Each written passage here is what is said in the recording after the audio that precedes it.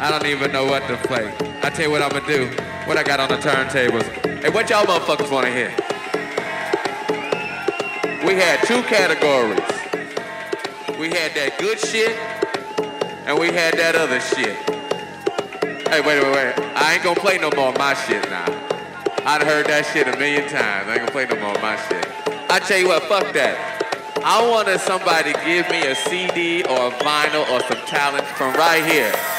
Fuck the rest of the world. Fuck these motherfuckers. I need something from right here.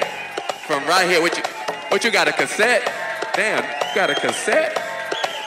I ain't got no cassette. What you got, baby?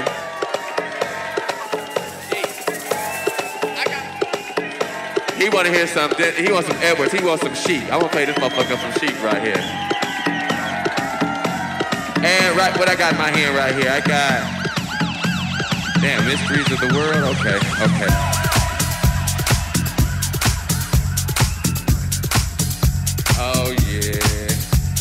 Motherfuckers having a good time.